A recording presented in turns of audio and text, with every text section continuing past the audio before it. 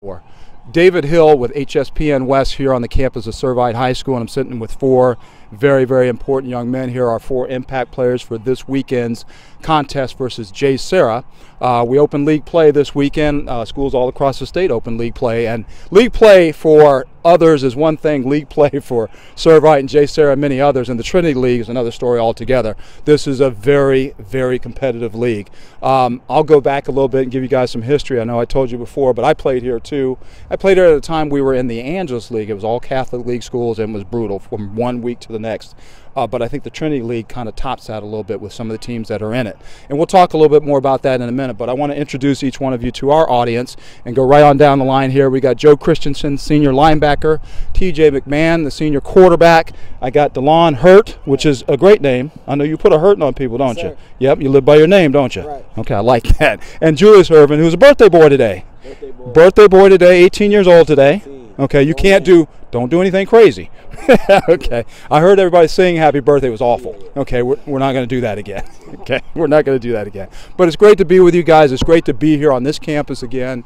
Uh, it's great to be back at Servite, and it's great for Servite to be back, right? That's an exciting thing. Um, when I think about Servite, and many others that know Servite think about tradition. It's tradition rich. It's the thing that I think made it great for me to come here.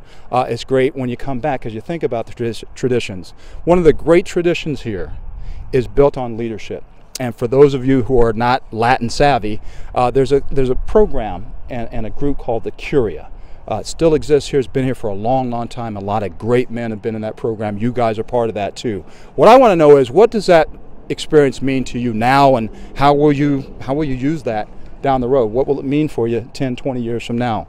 Anybody uh, want to start and comment? Julius. Uh, so, so being part of the Curia is a, a huge honor, you know, um, leading the guys of the football team uh, and the people of the school. Um, what it's going to mean for me 10 to 20 years down the road is just knowing that I was one of those guys that was selected to lead my peers around the school and as well as on the football field. And it's just, it's going to be a great feeling coming back and seeing the younger guys or the guys of the, the last generation um, lead their football team as well. Excellent. Anybody else? Okay. Um, it's definitely a great honor knowing that I was selected by one of my teammates or all of my teammates to be a leader of this team. I know where I stand with them and how they look up to me, and knowing that I'm always there whenever we're in down times of need. That's excellent. Anybody else? TJ. we always have to be the leaders of the team. We're held to a very higher standard than everybody else, and when we mess up, everybody notices. So we always have to be on our best and set the example for the team. Excellent. Joe, I know you're chomping at the bit to add to this. Go right Yeah. Um, so, like how you said, uh, Servite's based on a very tradition-rich uh, program called the Curia. It's been around for about four or five decades. Um, and like you said, uh, it's just an honor to be a part of the group, knowing that you were selected by your peers and that we've earned the respect uh, from our coaches, our staff, the teachers, students on campus. Uh, they all look up to us, and we're paved the we pave the road for uh, everyone else. I think that's all very excellent. You guys don't even know how well that resonates, uh, not only now, uh, certainly 10, 20 years from now, but uh, it's the kind of thing that I'm sure college coaches want to hear. While we're on that subject, let me just ask this question. I always ask this of high school athletes. What, what would it be that you want college coaches to know about you?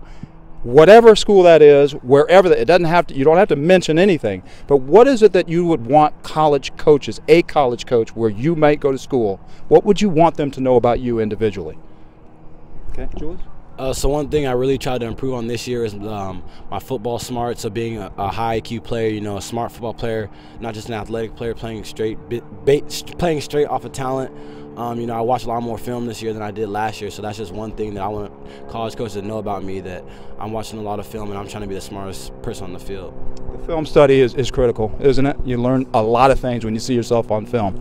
Anyone else? Um, DeLon. I'd say one thing I want my college coaches to know, wherever that is, I'd say I want them to know I'm a competitive guy, a guy that's going to play to the last whistle and always going to give them everything I have. Okay, Excellent, excellent.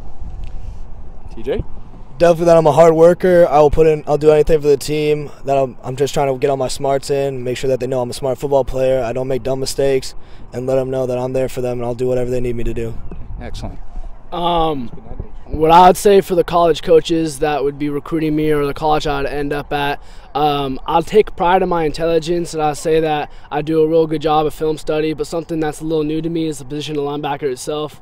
Um, this is my only second year uh, playing the position, so my potential, I feel like I could do a lot more and I could do a uh, real uh, good impact for the for the program itself.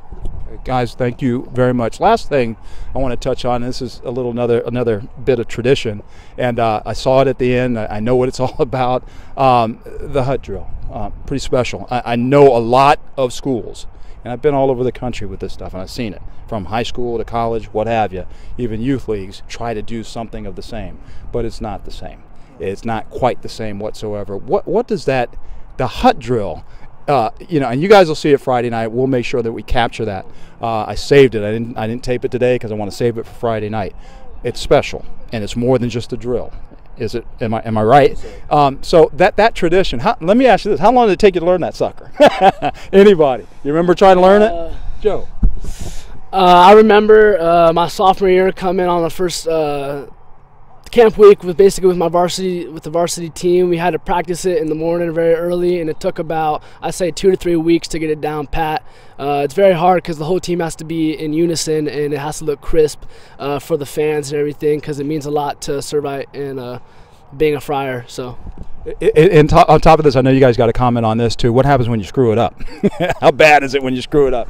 Um, I'd say I'd say it's very bad. I know pretty much everyone sees it when you do. You just got to stay focused and make sure you're ready for the next movement, so you don't continue to mess up everyone else. Well, there you go. Um, I'll add to one more thing to it. I know as far as the hut drill is concerned, those of you that don't know about it, it's a very uh, strategic, intense kind of calisthenic type of drill. That's what I'll say about it. You'll see more, you'll see it, and you'll understand it more. And just so you guys know, and we'll close it out with this: D Hill, Coach Hill, me, I'll do the hut. You guys beat JSerra, I promise you.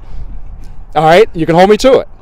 I will do that sucker right there, out there on the field when we're done. With us? I'll, I don't know about with you. I, yeah, I'll do it with you. Heck yeah, I'll jump in there and do. Yeah, I will. If coach will let me, he might throw me out of there, but I'll do that. You never forget it. That's the one thing about the hut drill. You never forget it. You guys win on Friday. You can hold David Hill accountable. I will jump in there and do the hut drill somehow, some way. Yes. Okay? Is that cool? Yes. All right, we're gonna. Believe me. Yeah, see, Delon said start stretching. So, okay, I'm, I'm going to be ready. I'm going to be greased up and ready. Right. All right, here we go. So, anyhow, we will have plenty of coverage for you. HSPN Sports West will bring you pregame, we'll bring you a halftime report, and for, certainly at the end of that football game, somebody on this bench is going to stand out, maybe all of you. And we'll be talking to you after the game, wishing the best of luck as you go up against the JSerra Lions, opening up Trinity League play. This is David Hill on the campus of Servite High School for HSPN Sports West. Thank you, man.